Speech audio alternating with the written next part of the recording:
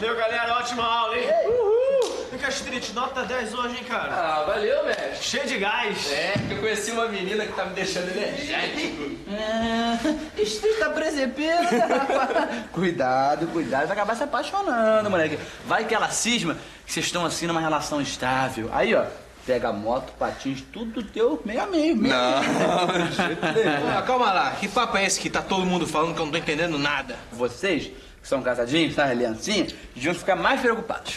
Preocupados com o quê? Preocupados com o quê? Olha só, irmão, presta atenção que o meu gostosinho vai explicar. Qualquer namorico agora, entendeu?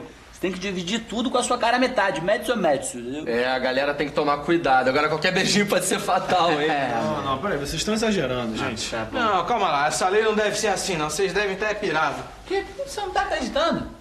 Olha, eu tô aqui sendo sincero com vocês. Eu vou só comunicar uma coisa, então, de muita sinceridade.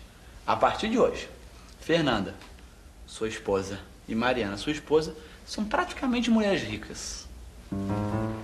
Ao contrário do que se pode pensar, Chateauneuf du Pape não é uma marca, e sim um tipo de vinho, não é, Magali? Muito bem, ah, vocês já gravaram a parte de que tomamos vinho tinto com carnes vermelhas e vinho branco com carnes brancas. Parte é facilzinha porque é mais ou menos lógico, não é? Muito bem, quem é que vai me mostrar como é que se inicia uma refeição?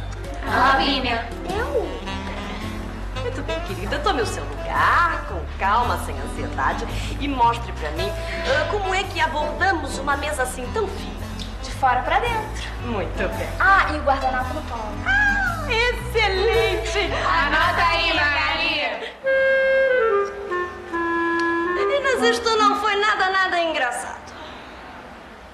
Muito bem, vamos prosseguir. E a sobremesa? Ah, não sei, Fernando. Acho que eu tô perdendo muito tempo com essa história. É uma vontade boba, daqui a pouco passa. Mas como vontade boba, você sempre quis comprar esse carro. É, mas é que eu acho que tem coisas mais importantes pra se comprar na vida do que um carro, né? Ah, tudo bem, mas a gente tem que aproveitar as oportunidades, né? Você não falou que o cara vai viajar e que tá vendendo a preço de banana? Não, não, também não exagera.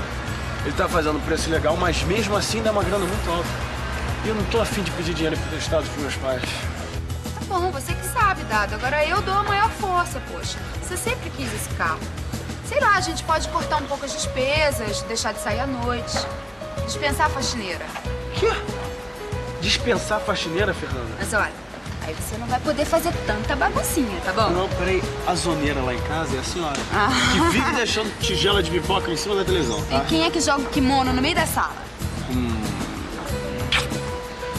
Ah, tudo bem, você me convenceu. Vou comprar o carro e não se fala mais nisso.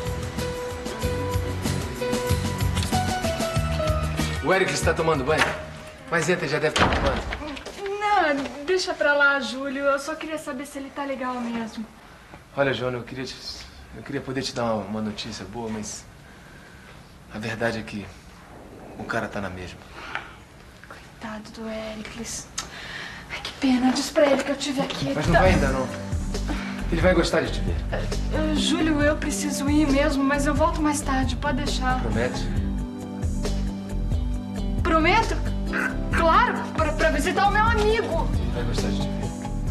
Você tá irradiando uma aura positiva que vai fazer bem pra ele. Aura positiva, eu? De onde é que você tirou isso, Júlio? Sei lá, você tá diferente. Um brilho nos olhos. Tô, é? Desculpa a intimidade, mas você tá apaixonado por alguém? Apaixonada? Eu apaixonada? Não, não, não, Júlio. Claro que não. não. Esse brilho nos olhos. Se você não tá apaixonado é porque já tá pronta pra se apaixonar.